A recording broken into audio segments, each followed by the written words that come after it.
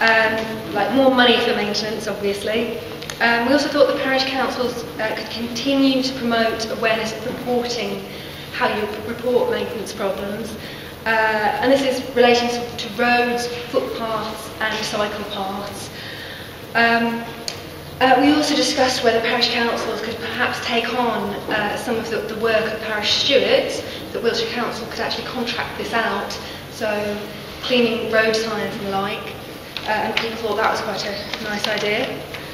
Second priority was uh, road safety, speed watch, already heard about. Um, perhaps parish councils could identify black spots, check with them, the police, Wiltshire Council, if they, are, if they know about them, if they have accident statistics or not. Um, sort of community art projects such as the bin stickers, which have 30 mile per hour limit on, or um, pedestrian figures at those accident black spots to encourage drivers to slow down. Uh, thirdly was public transport, particularly um, extending the, the use of the bus passes, the school bus passes for after school activities. That needs to be discussed with Wiltshire Council to find out what's technically feasible, what the costs are, um, and explore alternative to buses um, car share, carpooling, um, car clubs, that's something for, for the parish council's community to, to think about really. Thank you, Heather.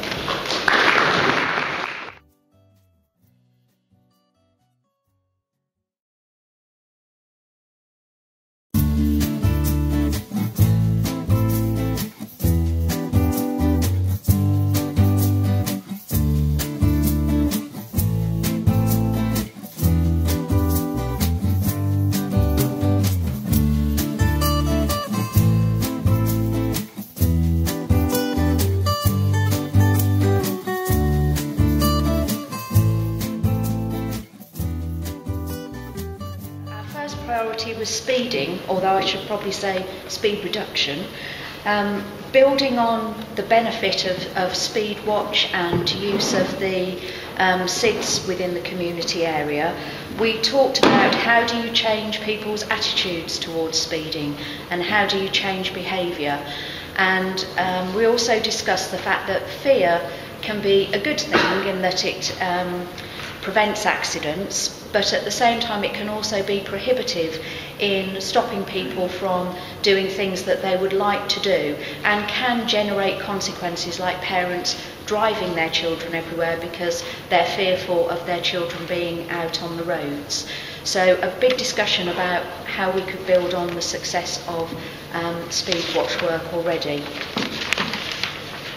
Second priority was about um, strengthening neighbourhood watch and particularly looking at the interaction between um, speed watch, lorry watch, horse watch, farm watch, neighbourhood watch and also possibly introducing street watch within the community area. Um, working more closely with the PCSOs to improve communication, things like neighbourhood watch news, and also for those residents who don't have access to the internet, people volunteering to distribute hard copies, say to neighbours within their street, which would have the added advantage of someone from time to time knocking on a neighbour's door um, in order to just have a discussion with them about neighbourhood watch in their area. Our third priority, uh, we'd like to see um, an agenda item for the area board on the issue of domestic abuse, and I think there we, we overlap with the health and wellbeing table.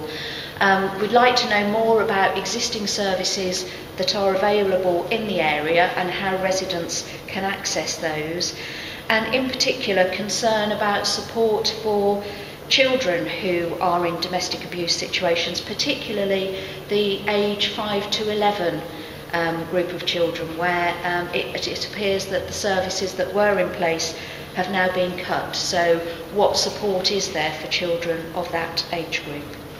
Thank you. Thank you, Tracy.